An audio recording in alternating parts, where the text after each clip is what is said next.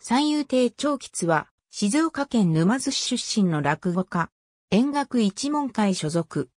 沼津市立第五小学校、沼津市立第五中学校、加藤学園、暁修高等学校、筑波大学第一学群自然学類卒業。専攻は人文地理学。本名は渡辺克也。2008年9月に二つ目昇進。2017年4月に新内昇進。父親は地方公務員。2005年、六代目、三遊亭窓か立花に入門。前座で検査を積み、2008年9月に二つ目昇進。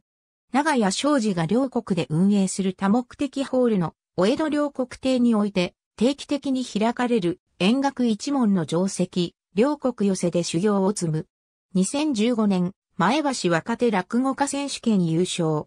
2016年、相模原若手落語家選手権準優勝。2017年、新内に昇進し、朝、立花と改名。